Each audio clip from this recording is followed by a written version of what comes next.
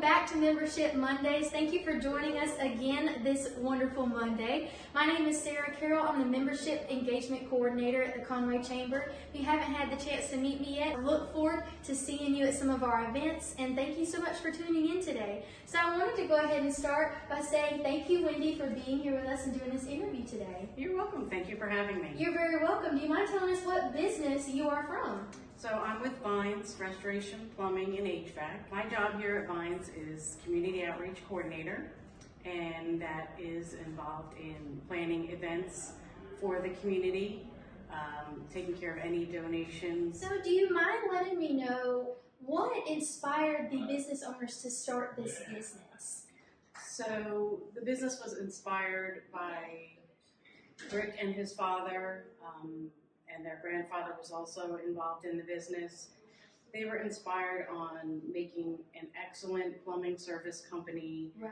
that really showed their employees that they care. Exactly. That's a great thing to have in a business. Yes, it And I'm sure it's wonderful working for bosses who treat you well every day. It is. I love that.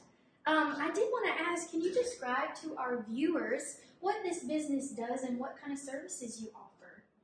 So Vines is a business that offers several services. Okay. The one side is the plumbing service. Um, if you have any plumbing needs, emergency needs, we're are available 24 hours a day. You can call anytime. We also have an HVAC division that is also available 24 Okay. hours a day.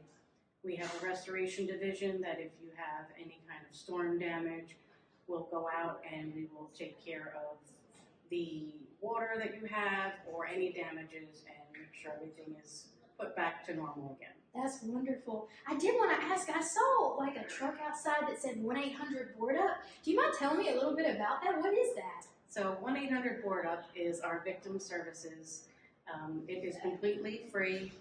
If somebody has a fire in their home, they will go out and they will help with food, water, clothing, and housing Wow. needs um, for the victims at no fee to them.